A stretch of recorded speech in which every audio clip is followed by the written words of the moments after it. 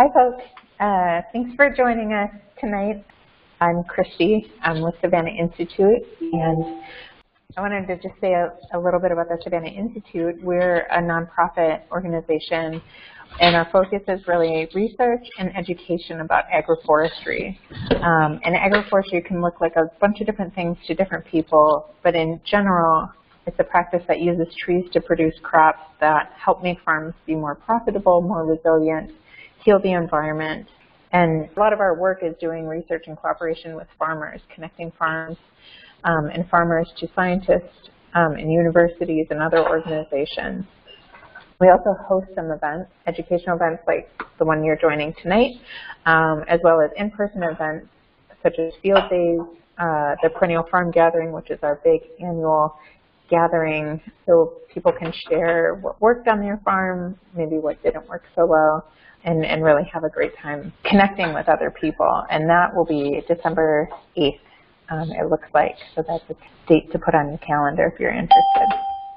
And so as an introduction tonight, I'm going to play a video here of Harry's farm, Hoch's Orchard and, and Gardens here which I think does a really nice job introducing uh, the work that they're doing there.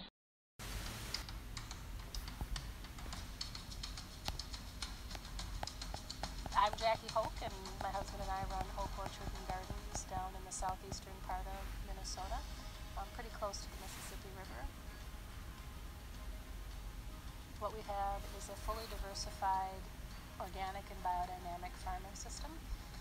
Our primary crop is apples, but we do things like sweet cherries and peaches and apricots and plums and strawberries and raspberries. Our focus is fruit, but when you farm in a very biodiverse way, you have a lot more than just the focus of fruit. We try to farm this farm as if it was one entity. So the waste that we have needs to be fed back into the farm to grow the farm every apple is used, whether the apple is used fresh for a consumer or whether it's used for a processed product or whether it's used for juice or whether it's fed to the pigs. We're not going to walk through the orchard and see apples still left on the tree. All the apples get picked, and if the apples fell to the ground, then the pigs go through and eat the apples that fell on the ground.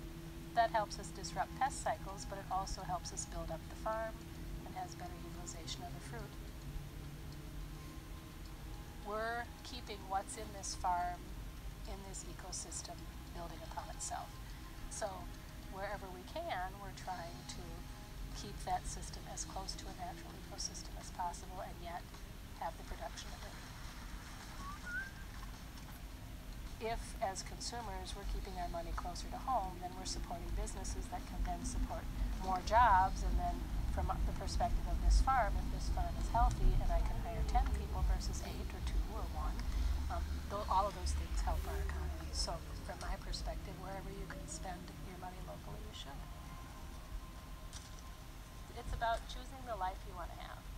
You know, if you're making all of your choices based on money alone, that's not a good thing.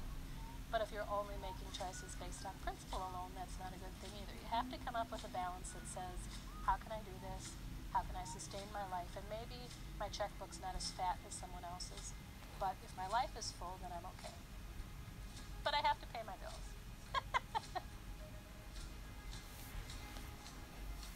Selling to co-ops has been part of what's been able to make our business be a sustainable because we develop relationships and partnerships with the co-op to be able to say, here's a menu of items that we have can you work with us and we purchase those things? We've never had a contract with any co-op we've worked with.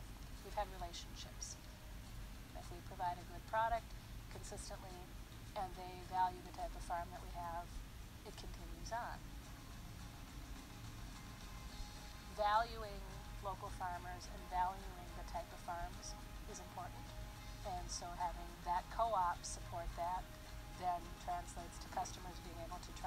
trust their food's coming from places that they value too.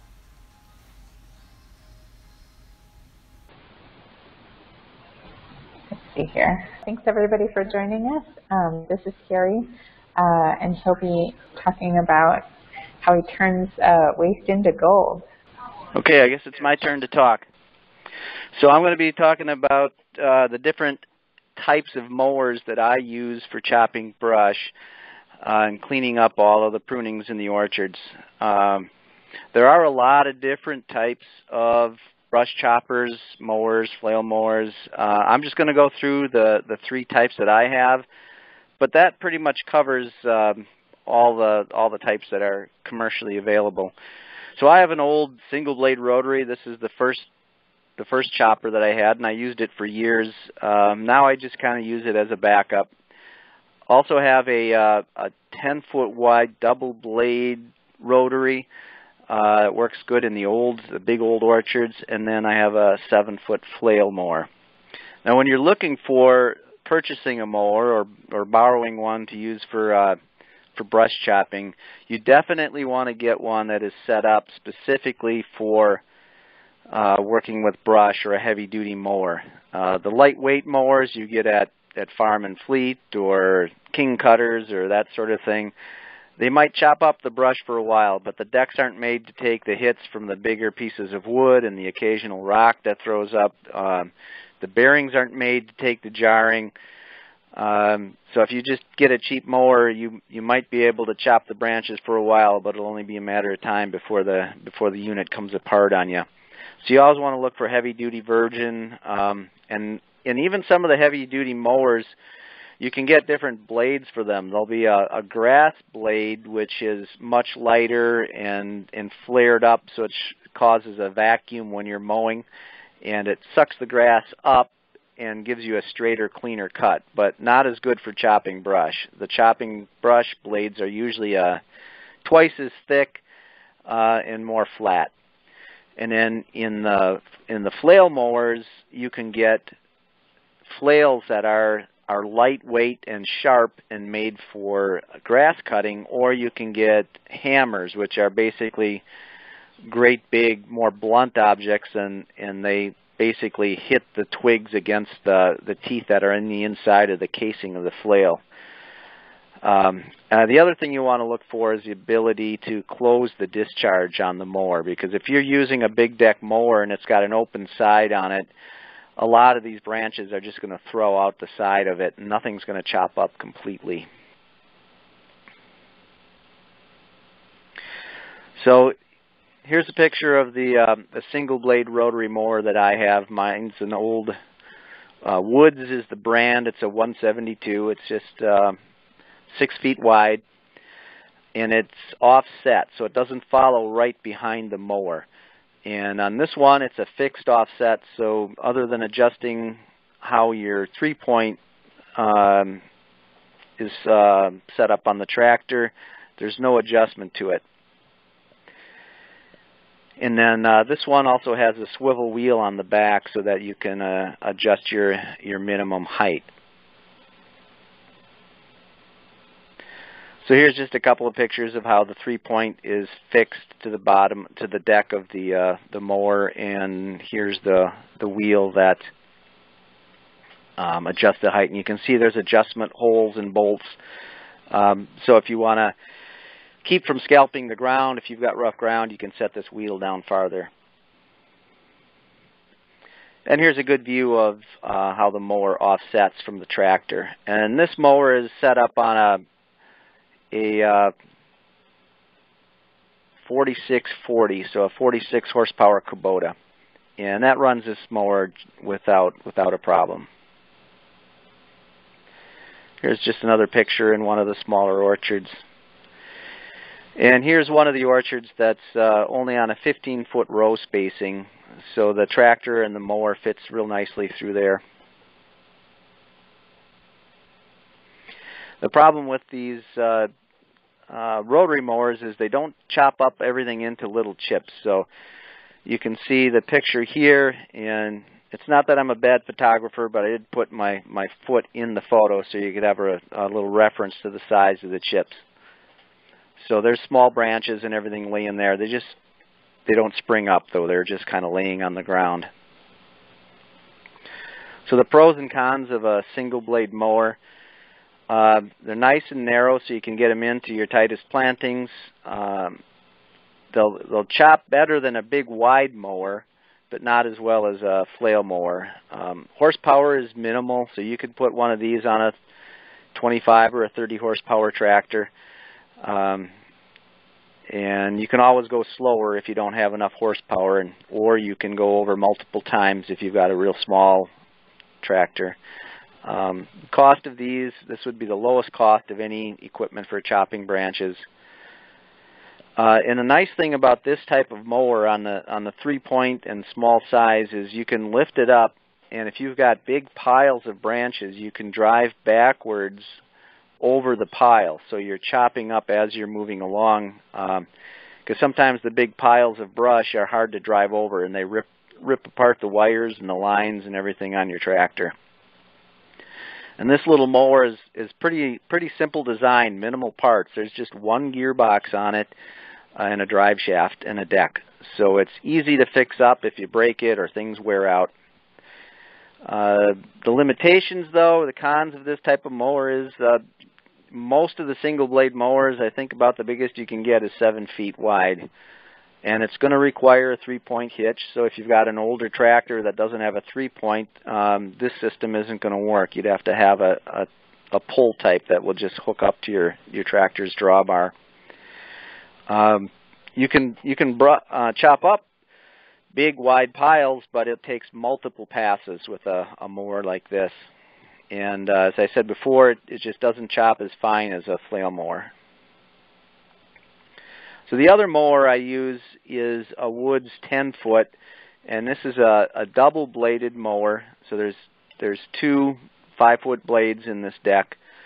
Um, it's got a a hitch that just hooks right up to the to the drawbar of the tractor, and then there's a hydraulic ram that I can that adjusts the height. So there's two wheels in the back, and this ram will will push the wheels down, lifting the deck of the mower up.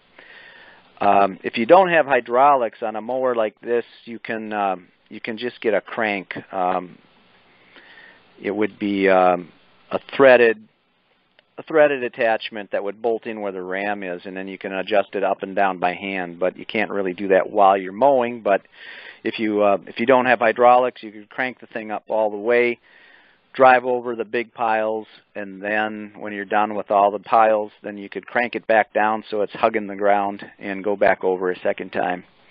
One of the older mowers I had used to be set up that way. And then this mower is offset, but it's a fixed offset. It's not adjustable. So here you can see the mower is uh, hooked up to a, a big old early 1980s Massey Ferguson tractor. And the hitch is you can't move this hitch along along the uh, the deck of the mower. So one thing you need to keep in mind, and I found this out, I I bought a 10 foot mower like this, and uh, there's no way I could use it in 15 or even 18 foot plantings because it offsets so far. So you're hitting your branches of your trees on the other side so um, a big mower like this is good if you've got 20 foot, 30 foot, 40 foot rows. But you try to take this down the down a, a narrow planting um, of whatever trees it is you've got in the ground, you're going to be hitting them with uh, with the inside wheel of the tractor. Here's a picture of the hydraulic ram that lifts the the uh, deck up and down. And this is just a photo I took so you can see the height of this tractor. Um, so it drives over the branches pretty well. The um, most of the tractors that I, the modern tractors that I have are all compact orchard tractors, and they don't have as much clearance. And here's just a picture of what happens when you're driving over a lot of brush. You can get a lot of brush tangled up behind the tractor and wrapped up in the PTO, and sometimes you just have to stop and and uh, pull some of those branches out. So the uh, this is side by side pictures in a in one of the big old orchards that I rent. These are standard size apple trees that we're renovating, and you can see on the left the big piles of brush underneath there. In fact, I think I'd already run over the pile once, so there's a lot of branches there. And then the picture on the right, all the branches are are chopped up, so you can you can see what an old mower like that will do.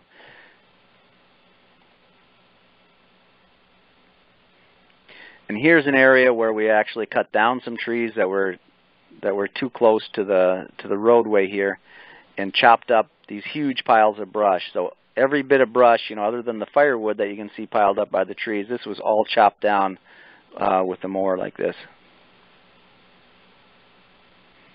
And there's another picture. You can see quite a bit bigger pieces of wood than with the smaller mower. Uh, the reason is that the big mower covers a much wider space, and if there's any low spots or swales um, that um, the blades aren't going to be as close to the ground. So a lot of big sticks get through on a mower like this. So it'd probably be a good time to uh, to look at one of the videos of this uh, so you can actually see how it chops up and what kind of a job it does. So Christy, if you want to play um, brush chopping number two, uh, then they can actually see this thing running. Brush chopping video number two is um, in a block on my, my main farm.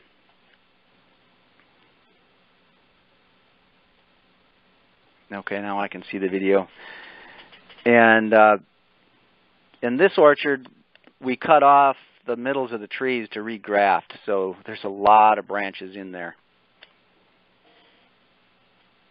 So this old mower is, is really chopping down the brush. It would have taken days to, to pick up all these branches and haul them out with a wagon.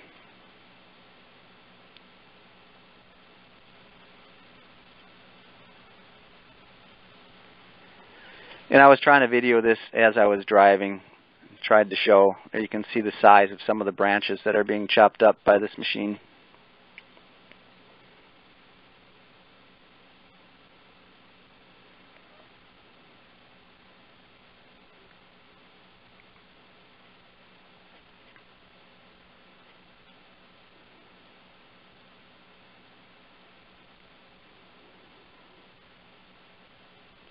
If you're growing nut trees or uh, or wood fire uh, production for uh, lumber, and you want to do a lot of trimming, um, a machine like this is going to probably be the best best option because you can, like I said, you can really chop up a lot of wood. And even if it's a hardwood, apple is a fairly hard wood, not as hard as as hickory or something like that, but it's more like red oak. But if the wood is too is really hard, you can just drive slower and it'll it'll chip it up and do a good job. The next video, number three. So this is in a, a standard orchard that I'm renting and renovating, and we went over the the pile one time already with this um, with this mower. Now I'm going back a second time with it set down even lower. So this would be the, the finish cutting. But you can still see the size of some of the sticks going into that mower.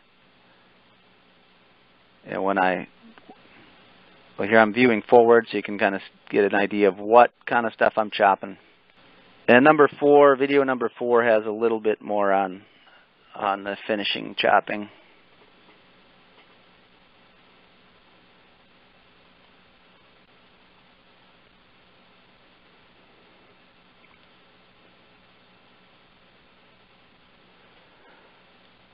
So in this one you can see what's going into the mower a little bit more clearly than the last one. You can see some pretty big pieces going in there.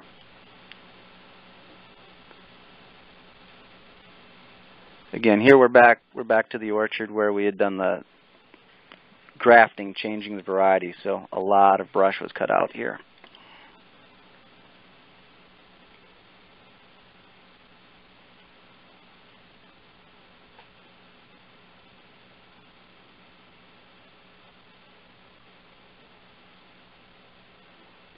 So this old orchard was uh, a lot of Cortland trees, and we're switching them over to hard cider varieties. So the pros and cons of a, a double blade mower. Obviously, you've got um, you can cover much more area with a big double blade mower, um, and with a with a mower like mine that's offset, you can reach far under the trees. So if you're um, trimming up trees, you can just let the branches fall and the mower will reach most of them. Um, not a lot of passes to take on even a 40-foot row. Um, I mentioned earlier that the fixed offset doesn't allow you to um, to take the big mower into smaller plantings. Uh, if you're buying something new, um, you should be able to find uh, adjustable offset. So that just means the three-point hitch or the or the drawbar can be um, moved in or out on the mower. So that gives you a lot more versatility. And these big mowers can chop up a lot of big branches, so you can you can saw off two three inch diameter limbs. Uh, problems with these big wide mowers, like I said before, they they don't chop evenly. So if if you've got something like keyline design and there's big even small swales and, and ridges that you're trying to drive over, a big mower like this is going to be really difficult to work over those ridges because uh, if you've got trees on one side of the swale or the ridge um, and this big mower is going over the top of it, you're either going to be skipping, cutting the top off of the ridge or there's going to be two feet of unchopped branches you know, in the bottom of your swale. And with uh, with a drawbar mower, uh, backing it up is almost impossible for any length of any distance. Um, you can back them up, turn them around, but uh, to try to back down an alley, it just it doesn't work at all. If you've got a three-point hitch and a smaller mower, you can just lift up and back into an area or back out an area, but uh, a big mower with a with a drawbar is impossible to go down an alley. And a mower like this is going to require 50 horsepower or more. Uh, probably 80 would be better. And one problem I have on my orchards, you saw from the video, we've got a lot of side hills. And if it's a little bit wet and you're pulling a mower like this, it can slide down the hill and into the tree. So it's running at a at an angle to your tractor instead of pulling right behind. So flail mowers. Um, what I have is a, a Dutch mower uh, called the the brand is Perfect. Um, what I have is a seven foot. It's a nice piece of equipment. It's got hammers for chopping brush. Uh, the rear the rear uh, roller um, can be adjusted up and down, and that opens up the gate or the space in the back where the chips come out. So if I want to use this mower for for mowing grass, we can set the rear roller very low and it'll throw all the grass out at the back instead of chopping it into little pieces. And if you're running a flail mower on a on a smaller engine tractor, you don't want to try to chop up all the grass. You just want to throw it out. Um, and then when you're chopping your brush, you close that gate up and then just drive real slow. And on this one, there's adjustable offset, and you can see it's hooked up to the three-point hitch.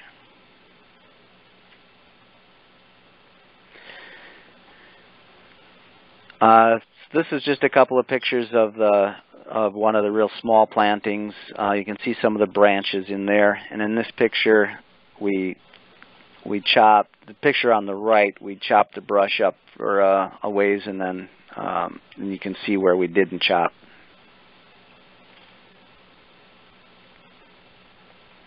And here's just a couple of pictures of the, of the mower going into the orchard.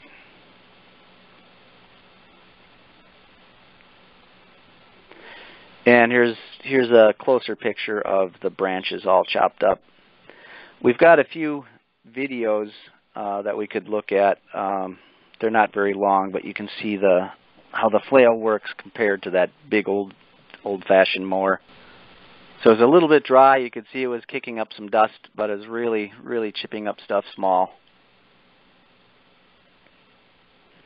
The next one is um, number five, and you can just see it mowing some grass.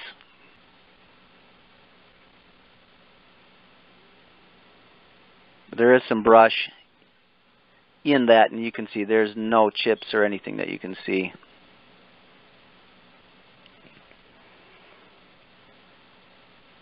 Now, the last video I've got is about 20 seconds, and we're just going to walk along and see the see the chips on the ground, see what the what a flail does. So that's number seven. And there's my little Charrier. But you can see when a when a flail mower goes over it, there's almost nothing left, just little pieces. And and even if you're running over big stuff, um, you know this wasn't a very big pile. You can see here the branches that were not chopped yet. But uh, even if if I were to run this over the uh, um, those big pieces uh, left over when we went over with the big chopper, um, it would still come out like that, just little chips laying on the ground. So if your concern is having a nice clean alley when you're done, then a, a flail mower is really what you're going to want to use. So pros and cons of the flail mower. Uh, the best part is that it really chips things into small pieces uh, and things start breaking down really fast and gets into the soil even quicker. Can handle really big pieces of wood up to three inches. Um, if you want to maneuver in and out of a row, it can be lifted up. Um, and you can also lift it up if you're going to go over big piles. It's easy to back up and maneuver around. Uh, problem is uh, these mowers are, are really expensive. This little seven foot one is probably is going to cost you quite a bit more than that 10 foot, a brand new 10 foot double blade mower.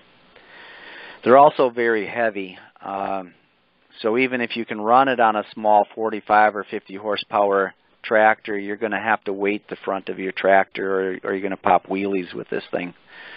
Um, so you really should have a higher than a 50 horse tractor.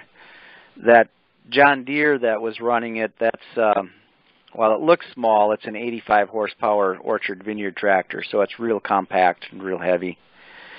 And while you can drive these things backwards, they won't chop in reverse. Uh, the you need the hammers turning in the right direction in order to chop the branches. So if you lift this up and go backwards over your pile, it just kind of throws the branches out of the way and doesn't doesn't chop them up.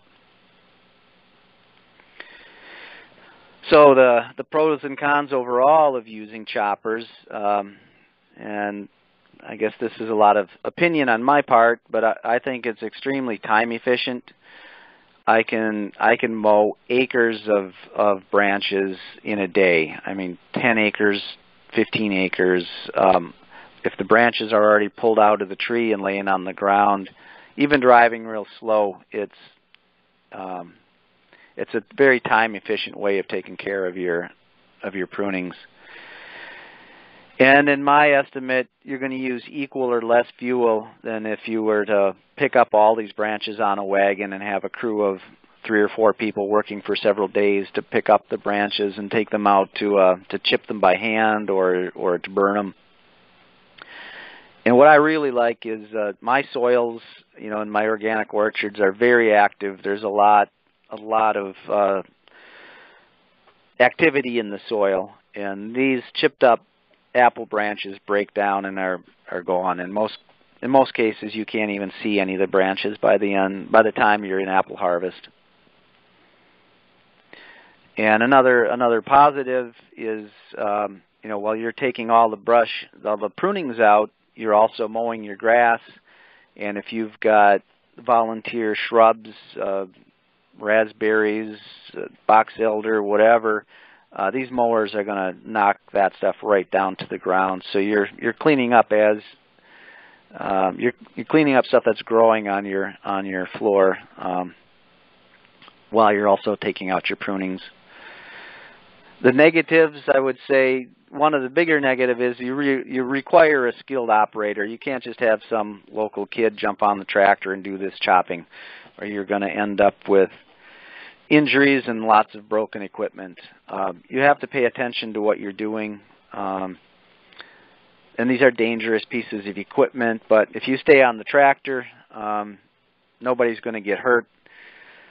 Uh, the rule on my farm is uh, nobody gets out of a tractor if a PTO is running. I don't have any equipment that that is is run with a with a tractor that's stopped. So uh, stay on the tractor if it's running.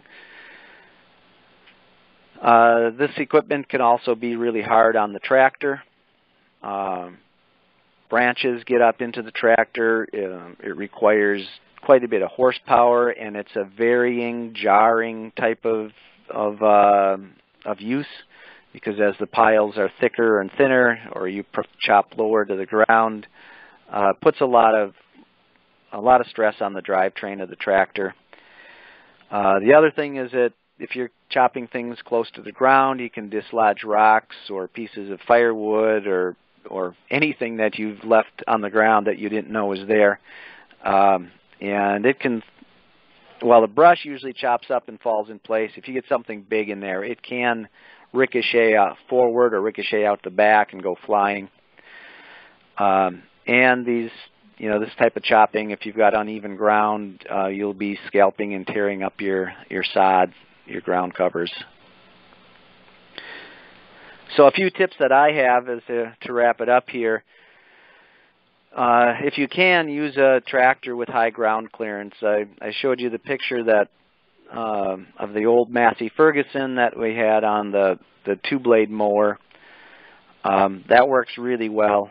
Um, the other thing is if you if you have an older, very simple tractor, that's the best thing to use for this type of um, of farm use. Uh, the more you chop brush, the more chances are that a branch is going to uh, slip up or slap up into your tractor. Um, especially big branches that have a big Y on them. Um, one one side might get run over by the tractor, and the other side gets flipped up into the bottom. Um, it can hook onto external wires, hoses, hydraulic lines. Um, all that stuff is vulnerable to the branches. Uh, what I like to do is we're, if we're uh, cutting up um, prunings from from a major renovation, we like to go through with with small chainsaws and cut out all the larger pieces. If it's more than about two inches in diameter, we like to cut that out and throw it to the side. Or even if it's just one two inch, but it's you know, a big Y-shaped branch. So if you step on one, laying it on the ground, and the other side is sticking up into the air four or five feet, if you just cut that in half so both pieces lay down, that works a lot better for chopping brush. And of course, uh, you don't want anybody around, anybody watching when this is going on because branches can fly, rocks can fly, pieces of wood can fly. Um, and it's interesting. It makes a heck of a lot of noise. If anybody's around, they're going to walk right up to see what's going on, and if if you don't see them there, uh, it could it could end badly. Uh, don't pile the brush real high. Uh, leave it spread out if possible. So if you've got wide rows and a tractor that can drive right over it, don't windrow it. Just just leave the branches loose and make a couple more passes. Uh, it'll be easier on the tractor and uh, uh, and uh, you'll have a lot less problems with these great big piles. Um, the other tip I mentioned before, if you have a big tall pile in a narrow row, you can um, lift up your mower if you're using a, a three-point mower and back over it, chopping the branches as you go. So you're driving over the, the half-chopped pile um, instead of driving over a big tall pile. And always drive slow. Uh, the faster you go, the more force that these branches are going to fling up into the tractor, and that's before they get into the chopper. Uh, and they can, they can, it's amazing what they can get into. They can shove up into the fender. They can get caught on different um, hangers for your um, hydraulic lines and your, in your water lines, and they just get shoved up into everywhere. You can even push them up into the radiator. Um, so I just tend to drive slow, then there's less chance of something slapping up and, and jumping up into the tractor. Um, I always avoid working on wet ground, uh, especially in the spring before your ground cover is really in place. You can do a lot of damage. You know, the mower smooths it back out, but you're compacting your soil. Uh, you're damaging the microorganisms, and uh, and uh, it's really best to either either wait until the ground is dried out. Or the other thing that I've done in some cases, is if you're trying to get in there early and the snow has melted off, if the if the ground's frozen in the morning, you can drive over and uh, things chop really well on frozen ground. It can't shove down into the into the soil. So it does work really well on frozen ground and you're not compacting the soil because it just really doesn't budge. So that's that's all that I've got for the for the PowerPoint. I guess we can switch to questions. So Harry, I had a um, couple of questions as I was watching. Is it does it matter if if the branches that you're putting in directional? Um, should they be all facing kind of the same way, or does it does it matter? For the for the branches, the orientation doesn't matter much if if they're short branches. Um, but what I found is if the branches are longer, you know, if if you've cut uh, long water sprouts or big branching water sprouts that are, you know, eight ten feet long, you want to lay those down um, parallel to the rows, so the tractor will drive over it and uh, and and the end of the branch will feed into the chopper because whether it's a flail mower or a rotary, once the blade catches it, it'll it'll pull it into the mower. But if it's if it's crossways and you drive over, you know, if you've got a six foot wide mower and a ten foot long branch and it's and it's perpendicular to the mower, you might just chop the the uh, the twigs off of it, and the main part of the branch is just going to lay there, and then the other half, you know, is going to get drug along or or or pushed outside of the mower and outside of your reach. Okay. Um, and I so I've never um, been a part of an orchard, um, and so I'm really new to to the uh, concept of pruning and, and everything. Um, do you prune your orchard in the fall or in the spring? Um, and then how how long do you wait between pruning to, to get out there? It sounds like you get out there in the spring either um, before it thaws or after the grasses kind of cover everything. Well, the first part of your question, we we try to prune the orchards every year, and the majority of the orchards are pruned when they're dormant. Uh, the training of, of real young plantings, some of that is done in the spring, but that's uh, that's low volume of branches. That's not anything you need to use the the brush chopper for. Um, sometimes on older orchards on less dwarfing rootstock, we'll do some summer pruning of, of water sprouts. And they're usually very succulent, so you can throw them right down and just your regular grass mowing will take care of them. Um, and as far as brush cleanup for the for the dormant pruning, we try to focus on on pruning all winter long. So we'll start in December and work all the way through March.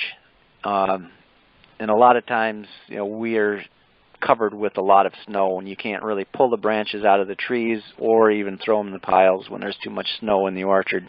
We can prune when there's a couple feet of snow on the ground, but you can't really deal with pulling the prunings out. The other issue is if we're pulling the prunings out of the trees and throwing them into the aisles and trying to get them away from the trunks of the trees, if you do it too soon before you chop up the brush, the winds can blow the branches around and kind of spread the piles back out because we can get some really heavy winds here in the spring. So usually the timing is March or April when we're doing our brush chopping. And how long have you been doing the chopping? Oh, with different types of equipment and different orchards, probably close to 30 years. Oh, okay. Oh, wow. Is there um, one piece of advice that you would like what what's one thing that you wish you would have known 30 years ago when you first started? Well, given I was pretty young 30 years ago, uh, just slow down. Yeah. the, the faster you go with the brush chopping, the more things you break. And so it sounds like the the branches break down pretty quickly. I look at it as our our whole orchard is is a big active compost pile. So we take as little as possible out of the orchard. And we actually, in our system, we, we don't fertilize the trees with compost or anything. We we use a lot of inoculants, uh, compost teas, uh, trying to build up the the proper balance of the right types of bacteria and fungus in the soil to work in this woodland type environment. So the uh, the soil is is very active and and we have a diversity of plants growing in the orchard floor and we we time our mowings. Um, we don't keep the place looking like a golf course. In fact, uh, the maximum height I have for letting my grass get long is so it doesn't cover the headlights on the tractor. So if we have to spray at night, we can still see. And then we also mow alternate rows. So when we do go through and mow the orchard, we're never mowing the entire block. We're doing every other row. And then we wait for the uh, the mowed rows to start showing some some flowering before we go and mow the other rows. So there's always always uh, nectar sources for beneficial insects. And with this inconsistent or timed mowing, uh, it allows a lot more diversity of plants to grow. Uh, you mow too often, and you end up with a lot of a lot of grasses and a lot of your uh, forbs and and leg natural legumes and stuff like that. They just kind of die out with regular mowing. Oh. But then the other extreme is some some organic practices are just let everything grow all summer long and then just cut it once in the fall, and and that gives you a different type. Of, it, it doesn't give you the best diversity either because you get a lot of a lot of plants that grow aggressively in the spring, and then and then go to seed, and in the fall you've got a lot of just brown brown grass and not not a good habitat for your environment or for your uh, beneficial insects. So so timed mowing throughout the season using equipment like this, um, yeah, really makes for a good a good environment in the farm and a nice balance for the beneficial insects and the pests. That's that's really great to hear. Um, especially, I'm a soil scientist by training, so I'm always really interested when uh, people are taking care of their soils well and, and fostering diversity. Um, yeah, we we like to say that we've totally abandoned soil chemistry and we're going all with soil biology. Had to great. had to relearn everything I was taught in soil science as a college student. That's right. That's right. I guess how has your orchard uh, changed over the years? Well, I'm second generation on the farm, Okay. so I uh, my father passed away when I was actually in college, so I I took over an, an old, um, poorly maintained uh, orchard of standard trees, um, and I ran that through the through the 80s, and then in the 90s decided to uh, get out of the orchard business because the old standard trees just weren't weren't doing it. The industry was changing a lot, and we went up to the up to the Twin Cities, and I worked at the Horticultural Research Center up there for eight years. Then came back to our place, so I've been back here for a little over 20 years. Oh, okay. But uh, when I first took over the orchard, we were a conventional orchard, uh, but I had studied integrated pest management, so we we were always trying to reduce pesticides. Uh, when I came back at, after the after working at the research center, uh, we really got interested in organics and uh, started paying more attention to the diversity in the orchard and the types of products we used. And you know, now we're actually we went from organic to biodynamic, so really have to pay attention to the the total environment. And yeah, I've seen big changes in the orchard. Um, the most visual is first the diversity of birds that are all around the farm. Uh, bluebirds and um, uh, just all kinds of all kinds of different birds that I'm identifying every year. And then uh, the paying attention to taking care of the orchard floor, so we have this diversity of plants and, and flowers, even without reseeding, just by timing the mowings, it allows uh, just the native plants around here to uh, uh, to grow more and, and have less grasses. So that would be the biggest change is uh, the wildlife the bird life mostly, and then the the orchard floor. Oh, that's fantastic. Um, that's fantastic to hear. So I guess um, if there's no other questions, I want to be respectful of people's time here. Um, we're, we're just about at 7. Oh, here we go. I see a chat. Um, so Patrick writes and says, thanks so much for sharing. I'm in the beginning phases of orchards and I wasn't sure what to do with the pruning material. Yeah, don't waste it. Another way to take care of your prunings in a small orchard, and uh, Michael Phillips that wrote the the apple grower, um, he suggests just making small brush piles in between the apple trees here and there and letting them slowly break down in kind of a natural composting system. So on a small scale, that, that can work pretty well too, is just make a small pile, throw some of your grass clippings over it, let them, let them break down right there, and then put piles in different places. Otherwise, you'll get you'll get brush and, uh, I should say, uh, brambles and things growing up in it if you try to do it in the same spot year after year. But that's another way to take care of prunings on a small scale. Or before you get your first brush chopper. Looks like we might be out of questions. Um, I think this was a really, really great information about um, how to do this, and I really like the videos. Um, I thought that was really helpful to see the results and see how things, um, how the choppers actually work at different times. Oh, I can make one other comment.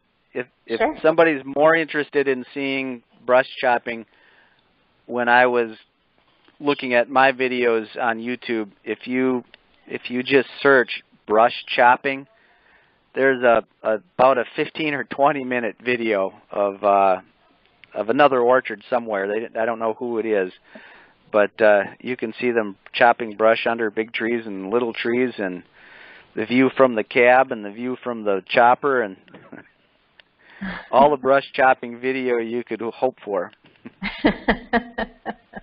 that sounds great. Um, Teresa chat wrote a chat. Um, she said, "Thanks. Uh, your orchard is inspiring." Thank you. Again, I want to thank everybody for joining us tonight, and I really want to thank Harry. This was this was really great information.